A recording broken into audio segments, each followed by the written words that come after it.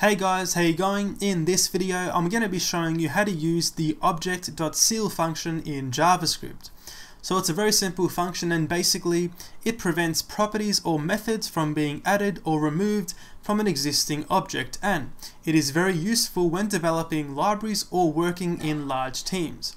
And the reason why it's useful in those scenarios is because uh, you can basically create an object and then you can say that you don't want any other developers tampering with your object. So with that being said, let's go inside the text editor right here, go down to the JavaScript section and I'll show you how to use object.seal. So firstly, let's make a new constant and call this O equal to a new object just like this we can add two properties.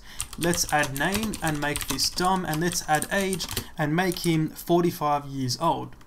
Um, so now we have this object, I can seal it by very simply saying object.seal just like this and passing in my object. So now the object has been sealed, which means um, after this point right here, I can't add or remove any other properties from the object. So let's now console.log o and uh, in between these two lines I'm going to try and add a new property called occupation.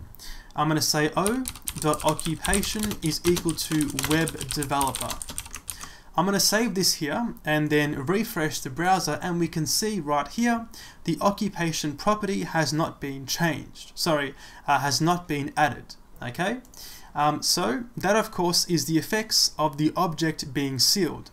If I was to go back and uh, comment out this object seal line, save this and try again, we can see now the occupation property has actually been added. So of course, um, the same thing works for removing um, a property. So let's go back inside here and just reseal the object and then try to delete o.name. Okay, save this and refresh and we can see I still have my name right here. Okay, just also keep in mind, and it's actually quite important um, to know that just because you can't add or remove properties, it doesn't mean that you can't actually change their value. So let's go back inside here. I can still say o.name is equal to, let's make him Bob. So I can still change the value of existing properties after the object has been sealed. Let's save this and refresh and we can see that my name is now Bob. So that is the key difference between seal and freeze. Okay.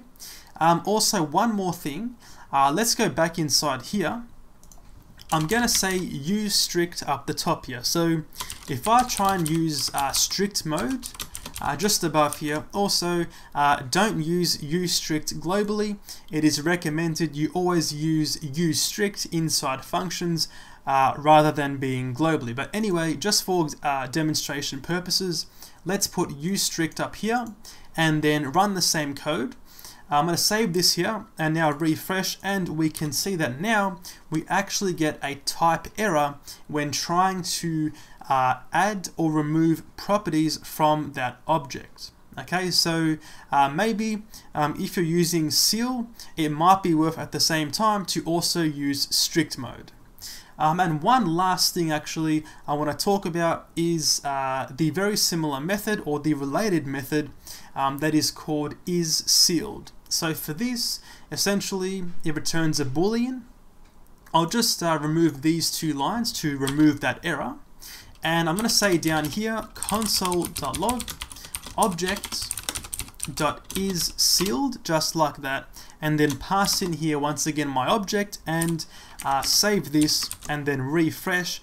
And we can see we get true. So the object is sealed and that's basically how you can check. Uh, back inside here, let's just put this line um, above the object.seal this time. Uh, save this, and now of course we can see it is false. So uh, that right there is object.seal in JavaScript. Thanks for watching guys, and I'll see you later.